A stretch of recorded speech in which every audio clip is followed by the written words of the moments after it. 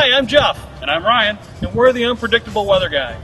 Today we're uh, here with uh, one of our products. It's the uh, 00638, which is a 3-in-1 weather center.